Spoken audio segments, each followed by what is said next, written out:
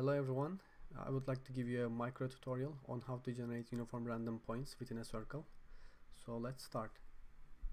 The problem statement is as follows. We are given only a random number generator which generates random points between 0 and 1 and we will be donating it by the rand n within the context of this tutorial and we are asked to generate uniformly random points within a given circle with specific radius of r.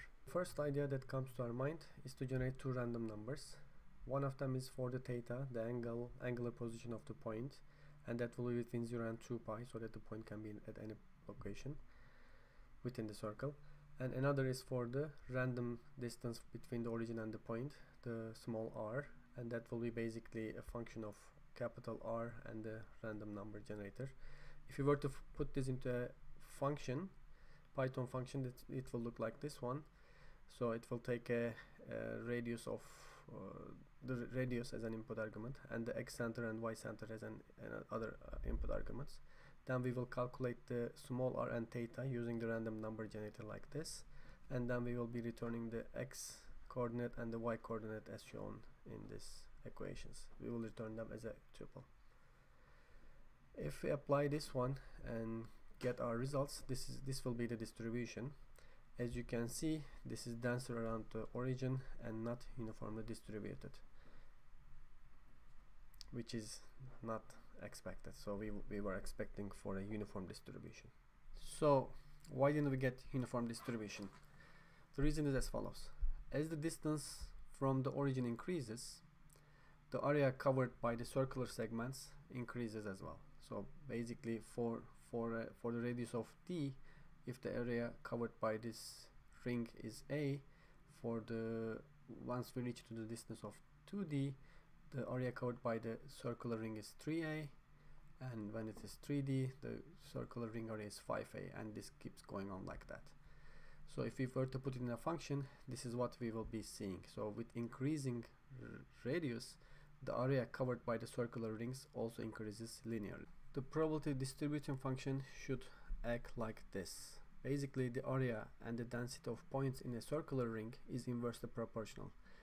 As a result, the PDF of the distance from the origin should be linearly increasing between 0 and r. And this will be basically our PDF function and the corresponding cumulative distributive function will be the integration of that which will be basically given as follows this is the cumulative distribution function we have and we are also given a uniform random number generator that generates a number between 0 and 1 basically we can get a, number between 0 and 1 by using our function.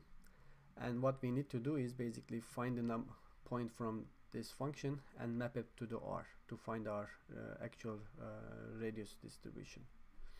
Uh, so for example this will be RR so then mathematically what we need to do is to find the R using the rand n.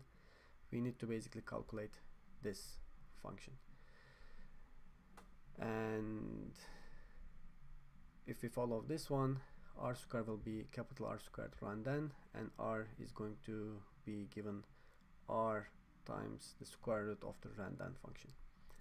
And if we go back to the original algorithm we were going to change our algorithm at this point where we calculate our uh, random uh, distance from the origin by calculating it using the capital R and the square root of the random number generator and if you were to put this to the to the Python code what will change is the only this part will change and we will calculate our R and theta similarly and then return the uh, x and y coordinates utilizing this too.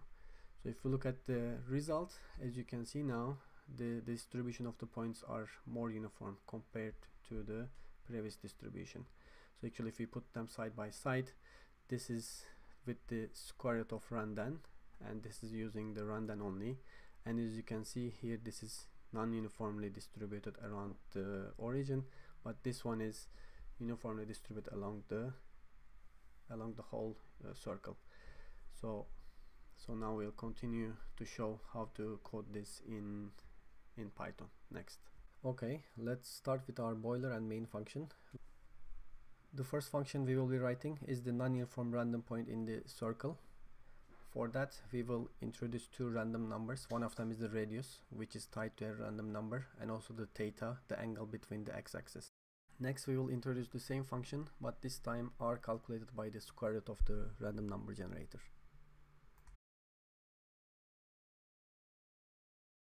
now we will create a utility function called replicate n times which will take a function the radius and the x center y center and number of trials. It will take the function and uh, basically call our two previous functions the non-uniform and the uniform random point in a circle. This will run the function and trials time and it will create a distribution over the circle. The returning value will be a tuple of x points y points radius xc and yc which will be late used later on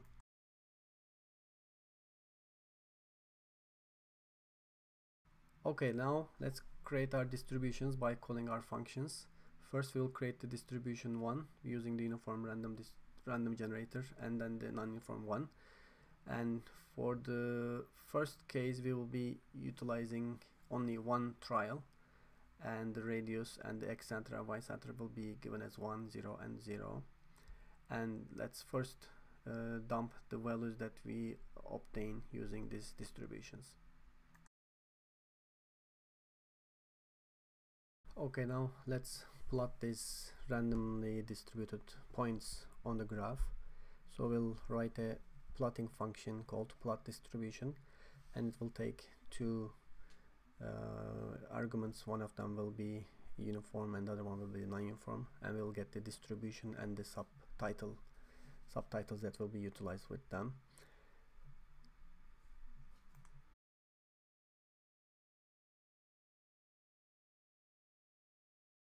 For the plot distribution function, we first import the pyplot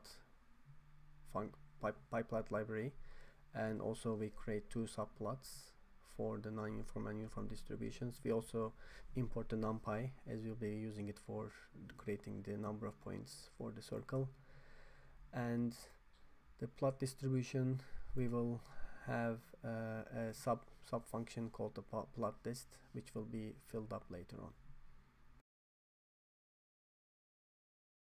so for the plot distribution function for every keyed arguments we are going to we are going to get the corresponding x points point and y points and then plot them with the plot dist function.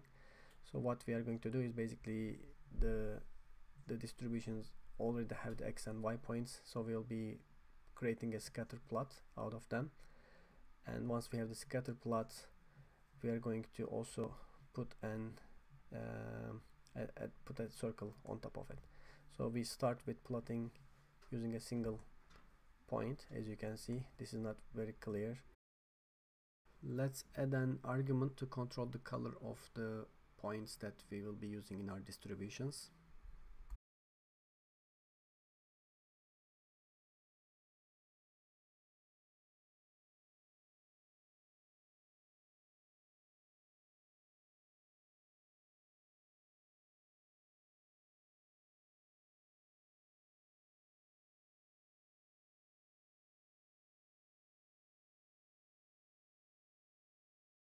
now let's add the circle so that the circle will be visible in our plots as well. Also add the subtitle plot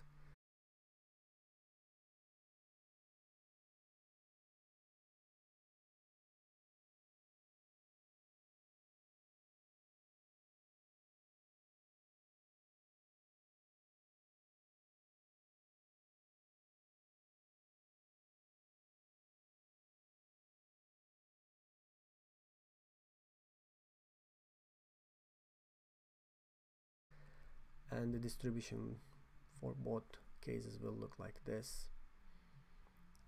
And finally some micro refactorization can be done.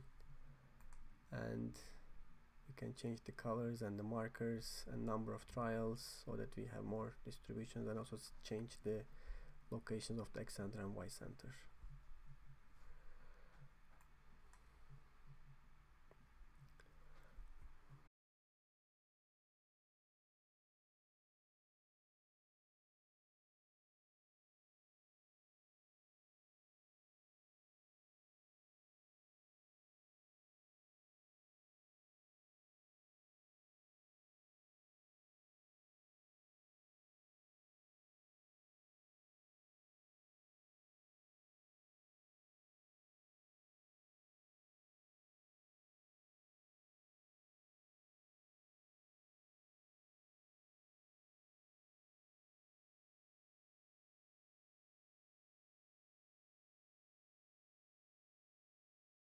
well that's it. I hope this was helpful for you. See you in the next videos. Bye